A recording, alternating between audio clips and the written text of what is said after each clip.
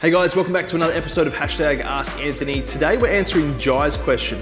Jai left a, uh, a question over on Instagram. His handle is at Get Self Belief. Jai asks, can you use the Facebook shop feature for information products, services, and online courses? Great question, Jai. So as we all know, Facebook Shops is fantastic for uh, a product-based business. Anybody that's selling physical products, right? Facebook Shops, Instagram Shops, uh, really great platform that's integrated into Facebook, makes it so seamless for people to sell products right through the apps.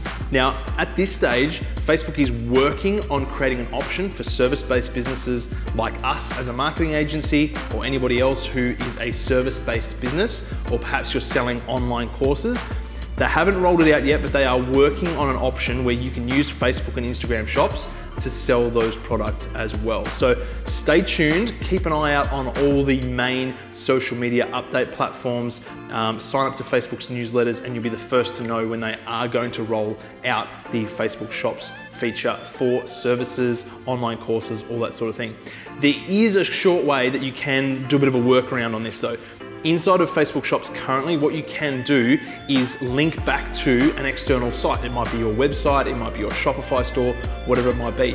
So you can um, use Facebook Shops to list your service, your course, your product, your, your information product, whatever it might be, and then just link out to your external website. So that is one way that you can get people from Facebook to your website to purchase your service-based product.